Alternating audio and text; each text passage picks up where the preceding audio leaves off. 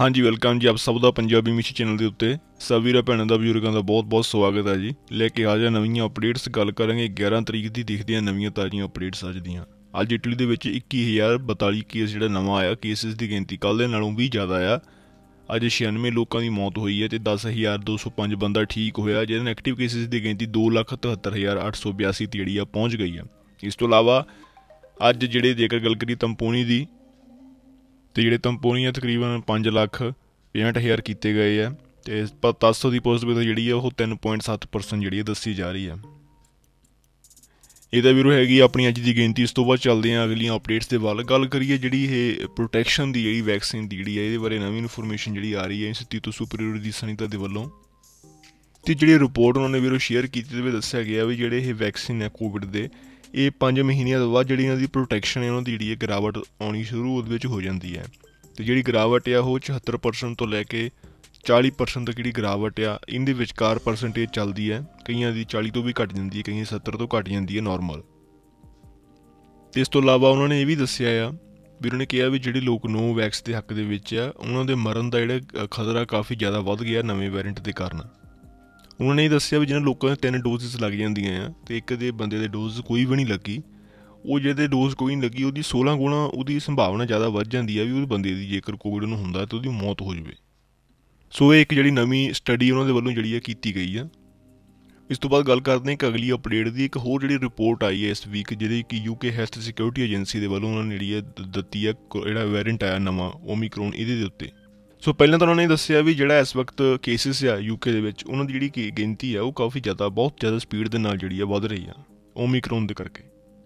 ਤੇ ਇਹ ਜਿਹੜੀ ਆਪਣਾ ਰਿਪੋਰਟ ਨੂੰ ਦੱਸਾਂਗੇ, ਇਹ ਜਿਹੜੀ ਰਿਪੋਰਟ ਹੈ ਫਿਲਹਾਲ ਹਲੇ ਉਹਨਾਂ ਨੇ ਲੈਬੋਰੇਟਰੀ ਵਿੱਚ ਜਿਹੜਾ ਇਹਦਾ ਟੈਸਟ ਕੀਤਾ ਹੈ ਨਾ ਉੱਤੇ ਹਲੇ ਬੰਦਿਆਂ ਦੇ ਟੈਸਟ ਨਹੀਂ ਕੀਤਾ ਹੈਗਾ। ਇਹਦੇ ਵਿੱਚ ਉਹਨਾਂ ਨੇ ਦੋ ਜਿਹੜੇ ਵੱਖਰੇ ਵੱਖਰੇ ਵੈਕਸੀਨ ਹੈ ਇਹਨਾਂ ਦੇ ਨਾਲ ਟੈਸਟ ਕੀਤਾ ਆ।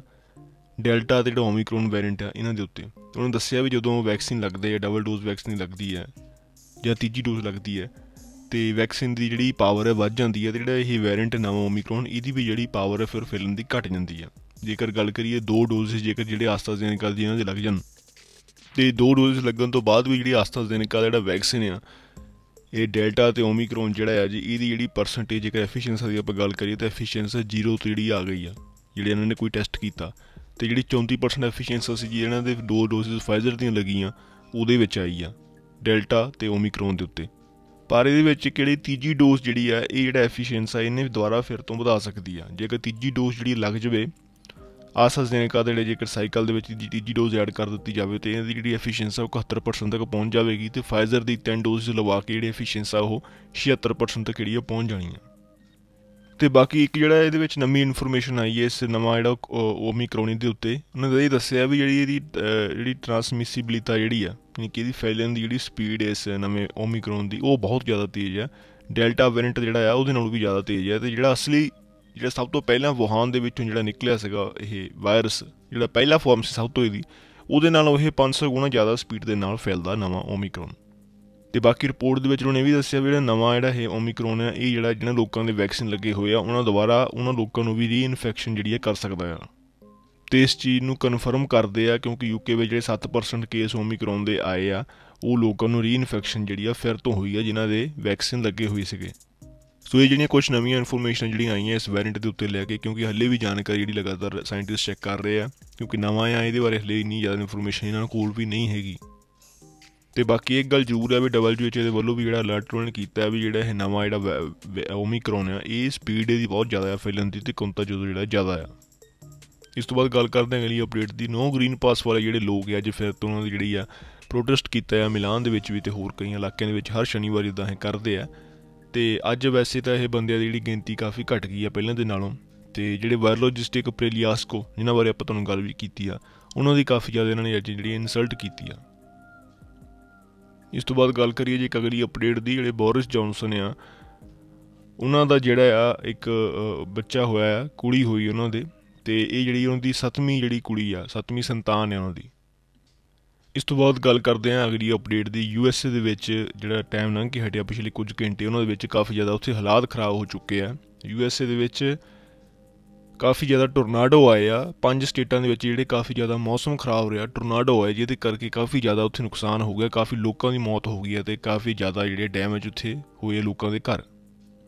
ਤੇ ਤੁਹਾਨੂੰ ਦੱਸ ਦਈਏ ਤਕਰੀਬਨ 70 ਬੰਦਿਆਂ ਦੀ ਜਿਹੜੀ ਹੈ ਜੀ ਮੌਤ ਹੋਈ ਹੈ ਜਿਹੜਾ ਉੱਥੇ ਦਾ ਜ਼ੋਨਾ ਪੈਂਦਾ ਸੋਦੋਚੀ ਦਿਨ ਤਾਲੇ ਕੈਂਟੰਕੀ ਜਿਹੜਾ ਜ਼ੋਨ ਆ, ਉਹਦੇ ਵਿੱਚ 70 ਲੋਕਾਂ ਦੀ ਮੌਤ ਹੋ ਗਈ ਆ।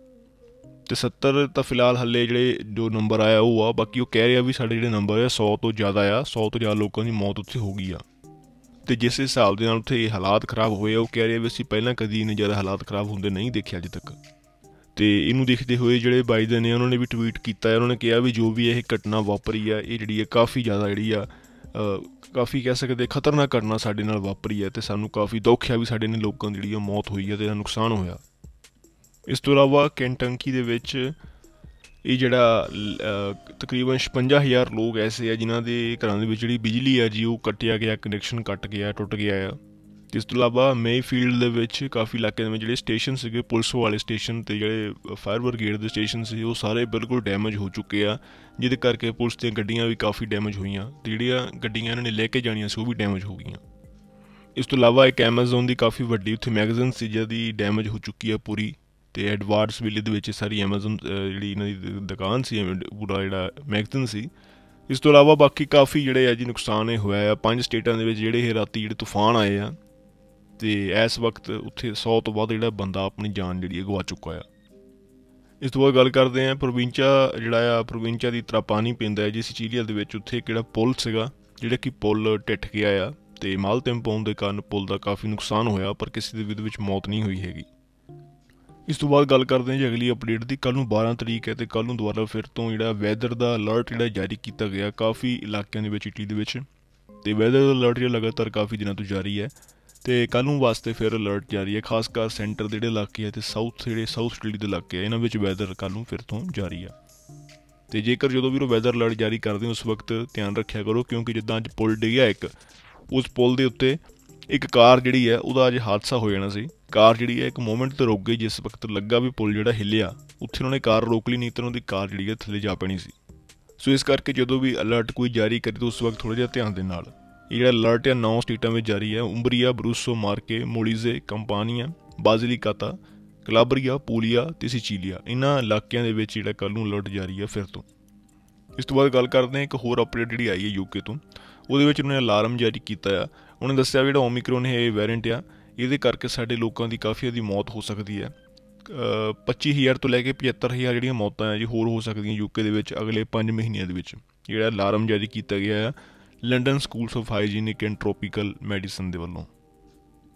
ਇਸ ਤੋਂ ਬਾਅਦ ਇੱਕ ਨੋਵੈਕਸ ਬੰਦਾ ਸੀ, ਜਿਹਦੀ ਅੱਜ ਮੌਤ ਹੋਈ ਹੈ 50 ਸਾਲ ਦਾ ਬੰਦਾ ਸੀਗਾ। ਟ੍ਰਿੰਟੀਨੋ ਵਿੱਚ ਇਹਨੂੰ ਹਸਪੀਟਲ ਲੈ ਜਾਣਾ ਪਿਆ। ਉਸ ਤੋਂ ਬਾਅਦ ਜਦੋਂ ਇਹਦੇ ਉਹ ਜਿਹੜਾ ਟਿਊਬਾਂ ਵਗੈਰਾ ਲਗਾਉਣ ਲੱਗੇ ਆ, ਤੇ ਇਹਨੇ ਮਨਾ ਕਰ ਦਿੱਤਾ ਹੈ, ਕਿਹਾ ਵੀ ਮੈਂ ਜਿਹੜਾ ਕੁਝ ਵੀ ਨਹੀਂ ਲਗਾਉਣਾ, ਤੁਸੀਂ ਮੇਰਾ ਇਲਾਜ ਜਿਹੜਾ ਇਦਾਂ ਦਾ ਕੁਝ ਵੀ ਨਾ ਕਰੋ, ਮੈਂ ਆਪਣੇ ਆਪ ਠੀਕ ਹੋ ਜਾਣਾ। ਤੇ ਉਸ ਤੋਂ ਬਾਅਦ ਫਿਰ ਉਹਦੀ ਜਦੋਂ ਮਨਜ਼ੂਰੀ ਨਹੀਂ ਦਿੱਤੀ ਗਈ ਉਹਨੂੰ, ਤੇ ਉਸ ਤੋਂ ਬਾਅਦ ਉਹਦੀ ਮੌਤ ਹੋ ਗਈ ਹਸਪੀਟਲ ਦੇ ਵਿੱਚ।